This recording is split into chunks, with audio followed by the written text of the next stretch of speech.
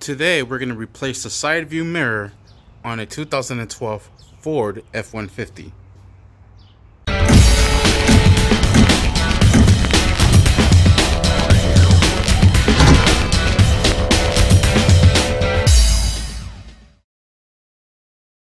Alright, first thing we're going to do is go ahead and open up the door. And we have a couple of tabs we got to remove. We have this one here. And we have another one behind the door handle.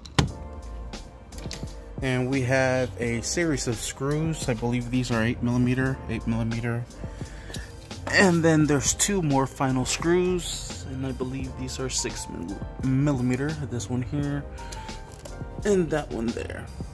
So let's go ahead and get this open first. Alright, you can use a small flathead. What I'm going to do is I'm going to use my multi-tool. This one has a nice little flathead on there. So we're just to stick that in there and pry it open. There it is. Um, well, we'll get it open. Alright, there it is. Here comes up the first one. Then we got to remove this one. We're to latch down in here and pull out.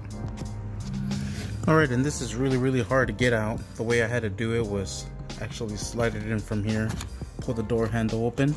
And as you can see, see, I have a little bit of access in there. There it is, and I was able to pop it out.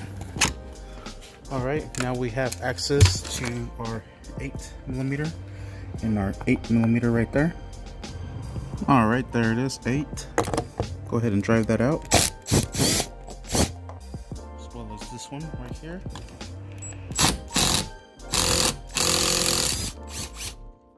The sucker had to be like hammered out.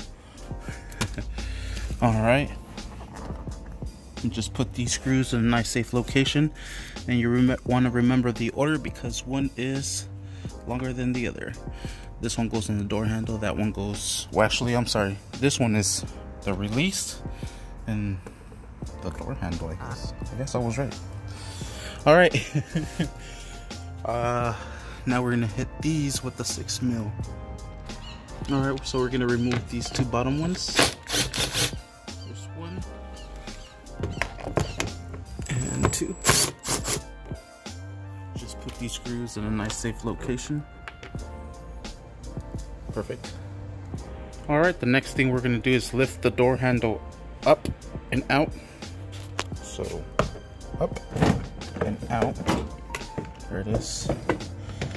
And we're just gonna let that hang from here because now we have access to our three nuts to get that side view mirror off.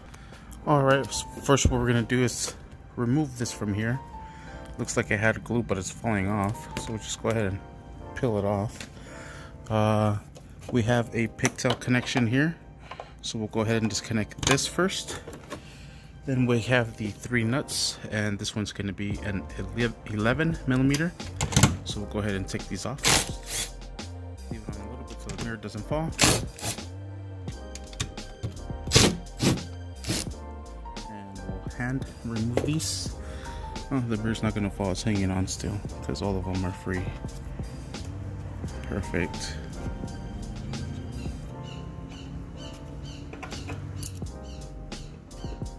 Just put these in a nice safe location.